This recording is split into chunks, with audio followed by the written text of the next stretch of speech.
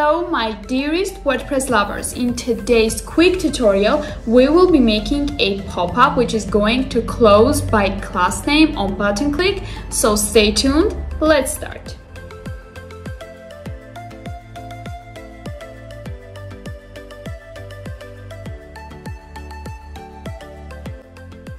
So as you can see, we are in the dashboard of our Popup Box plugin and here I have pre-made a pop-up so that we will not waste time on that. So we're going to use the download type pop-up. It is already enabled and let's see how it looks now without Okay, so you can see this button, when we close it, there is nothing that's going on, so it does nothing yet, just yet. So let's see how to uh, make it close our pop-up. So for that, you need to go to your settings. Here you need to find the close by class name on click. So you can see that it is already enabled. If it is not, you need just to tick the box.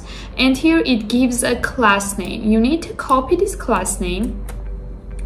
Uh, go to general settings and you need to add the class name to the button or to any element that you want uh, your pop-up to be closed while clicking on. So here let's find in the pop-up description let's let's find the um, element where it says close. You can see this is the element.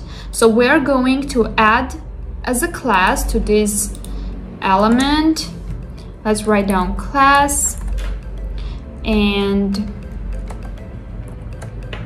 let's paste the class name. Okay so now this element which says uh, close which we have already checked out has a class that I have just pasted in here. And after you need to go to CSS selector for trigger click and add the class name here as well. And after clicking save, let's go back to our front and front page and voila! Your pop-up closes when you click on the button called close.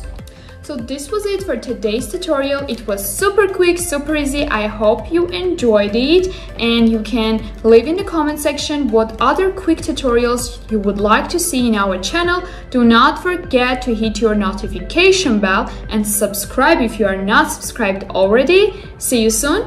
Bye!